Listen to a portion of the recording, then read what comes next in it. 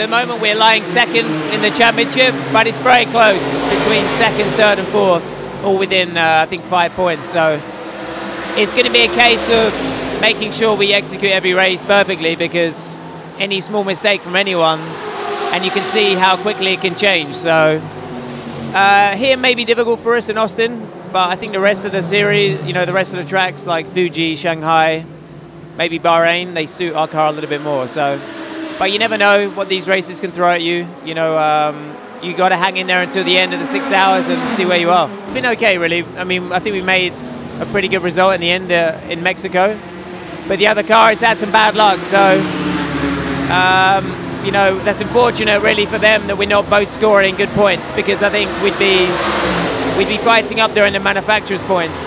So that's a bit of a shame, but you know that it can swing both ways. You know, we could have it ne- the next time round. So, yeah, I mean, it's just one of those things, really. Uh, just got to keep on top of it, stay out of trouble, and um, bring her home. How do you like Austin as a circuit?